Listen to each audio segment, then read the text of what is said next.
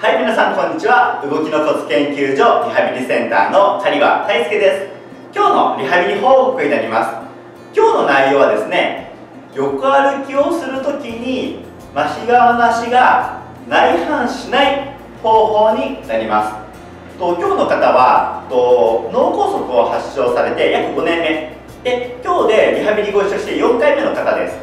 でこの方のお悩みはですね歩く時に足が内反してしまうというお悩みなんですけども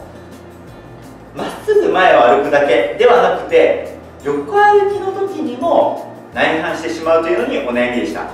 横歩きがうまくできないと結構あのご自宅の中でですねあの料理をする時とか結構横歩き少しちょこちょこ歩いたりとかですね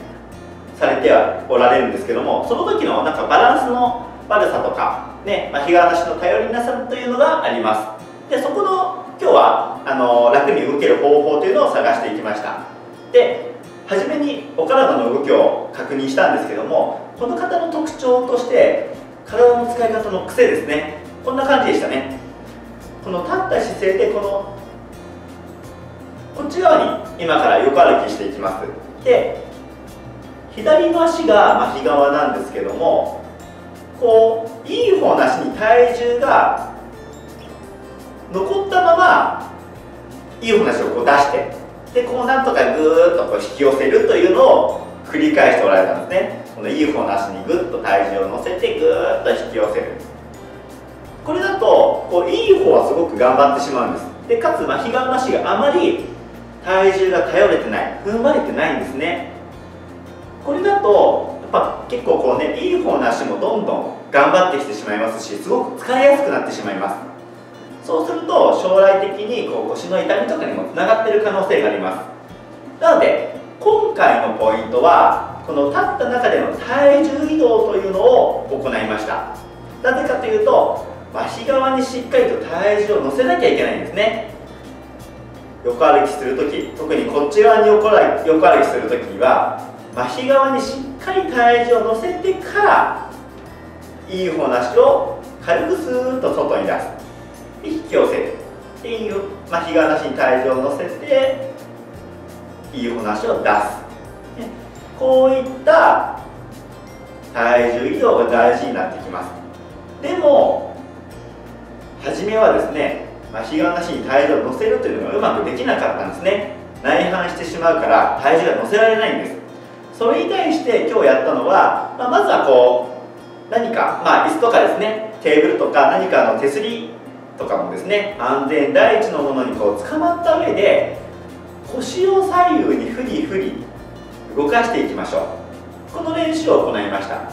でこの時に腰をただ左右に動かすだけではなくて少しこう何て言うんですかねゆりかごのようなイメージを持ちながら体重移動をしていただくとですね最初に比べたら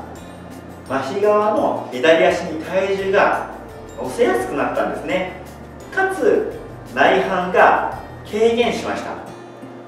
なのでねこう左の足に乗せよう乗せよう支えようって思いすぎると逆に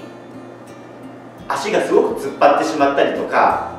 内反がすごく強く出てしまって乗せにくいんですけどもそうではなくて足の裏を意識しすぎるのではなくて今回は腰を意識することによって結果、まあ、日がらしに体重が乗せやすくなった。でその結果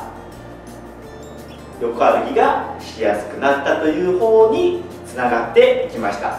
是非ですねあの皆さんあの同じようなところでお悩みの方はこの方法も是非試していただければと思います。でまたですねあの僕たち YouTube のチャンネル内に動画たくさん配信しておりますのでよろしければ今回の内容に、ね、同じようなところでお悩みの方ぜひですねあの検索ワード、ね、動きのコツ横歩きこういった検索ワードでですねあの検索していただくと僕たちの、ね、今回の内容に類似した動画が出てくる可能性がありますのでまたぜひ試してみてください。でさらにですねより細かなご質問が、ね、したいという場合はですね僕たち YouTube ライブを行っております。YouTube ライブはあのー、チャット機能というのがあります。ね、その場でこう YouTube ライブ中にですねいただいたチャットでいただいたご質問に対してですねその場でお答えをすることができます。リアルタイムでやり取りができるので何か細かく話聞きたいという方はぜひ YouTube ライブご覧になってください。でさらにですね YouTube ライブできるだけ今毎日配信するようにはしてるんですけども何時にやるかというのが結構時間がバラバラです。なので何時にやるか知りたい。っていう方はですねぜひチャンネル登録お願いします。